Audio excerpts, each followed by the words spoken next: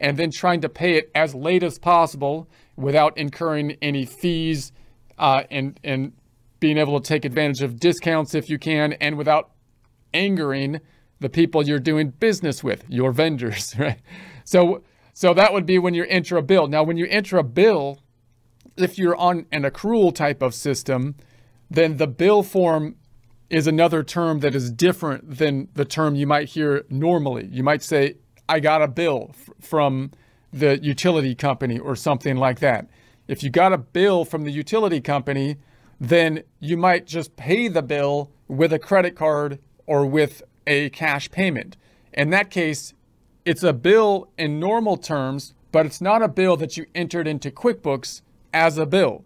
Because for QuickBooks, the bill form means that you're increasing accounts payable. So if you got a bill and you paid it with a check or you paid it with an expense form or you paid it with a credit card, you paid the bill, but you didn't enter a bill form into QuickBooks because you didn't go through accounts payable. Uh, on the other hand, you might also call that bill from the utility company an invoice. I got invoiced by the utility company. The, notice the invoice and the bill are the same type of document. It just depends which side of the table that you're on. So you can actually use them interchangeably in normal context. But when you're entering stuff into the software, the bill means that you're that ultimately you're going to be paying someone else, and the bill form more specifically means that you're entering the bill into the system, increasing accounts payable, so that you'll then have to track the stuff that you owe and then pay the accounts payable at a later time. So that's going to be a little bit more complex of, of a process. And then if you have inventory, then that throws another kind of wrench into the system. So if you have inventory, that now you're purchasing, let's say we're, we're going to be purchasing guitars later and we sell guitars. So if we purchase the guitars, we might have a purchase order that we're going to enter into the system.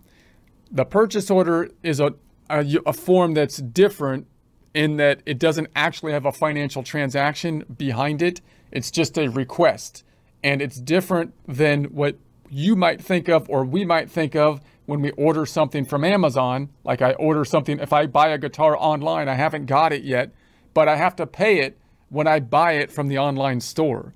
Unlike if you have more power for, as the purchaser in a business situation, if you're if you're per, if you're purchasing a, a thousand guitars from China or something, then you might be able to because they're manufacturing it or whatever. I don't know then then you might be able to request the guitars before you actually pay for them, which would be great, right? So then you can request the guitars, they ship them, you see if they're good, and then you know if they if they meet the qualifications, and then you pay for them.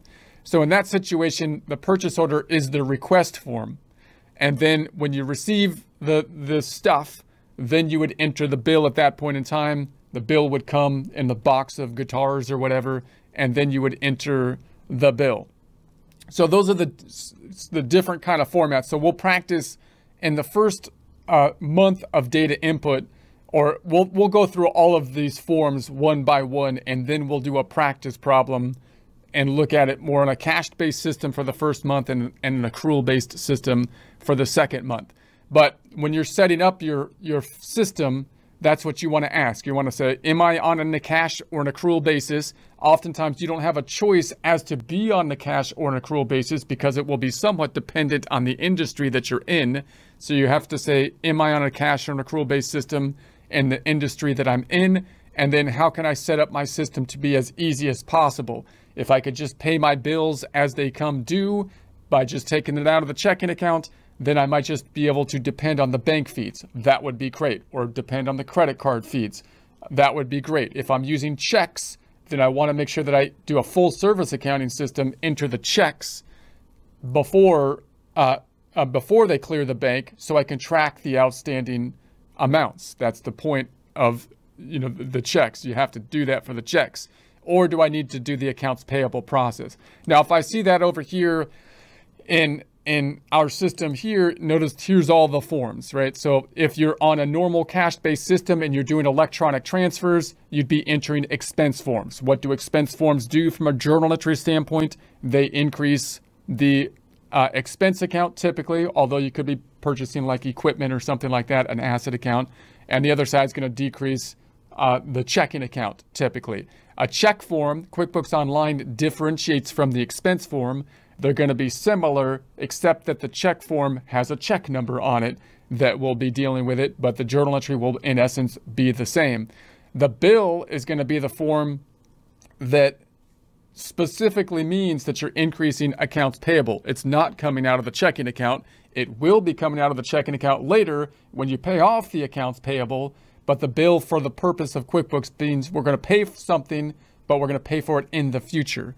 The pay bills is a specific form that's basically just another type of check or expense form, meaning it's going to decrease the checking account, but it's going to be specific to paying off the bill form. And that'll give you a, a, like an added piece of information that that's that's a kind of a check that was used to pay off the bill form.